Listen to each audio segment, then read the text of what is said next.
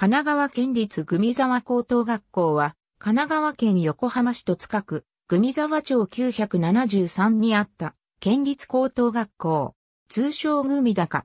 高校百校新設計画に基づき1979年4月に開校、第1期生180名入学。当初は、旧戸塚区省杉ヶ谷町2084所在の仮校舎を使用していたが、1983年3月、組沢町に完成した本校舎移転。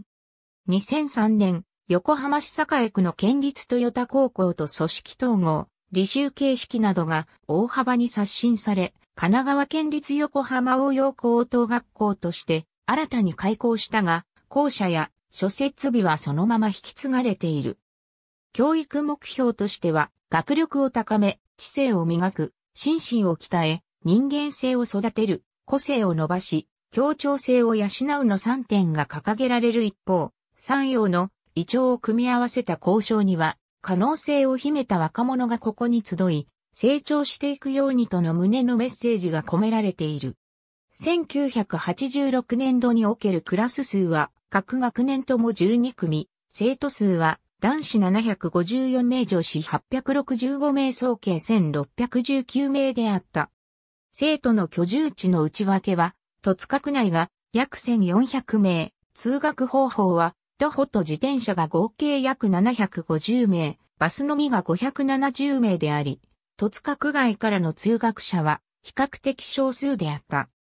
同年度における学校行事としては、5月上旬に生徒総会、同下旬に体育祭、7月中旬に球技大会と演劇教室、9月下旬に文化祭、11月上旬に修学旅行、同下旬に生徒総会、12月中旬に球技大会、同下旬にスキー教室、2月上旬にマラソン大会、3月中旬に球技大会、映画教室がそれぞれ実施されている。同年度の部活動としては以下の32の部が設けられていた。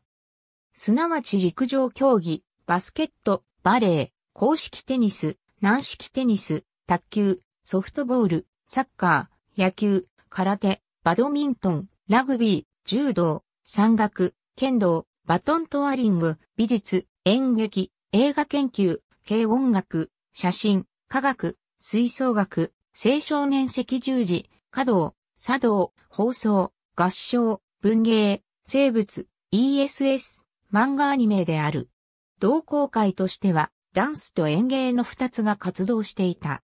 落語家の立川氏の八が、組沢小学校、組沢中学校から当校に進学している。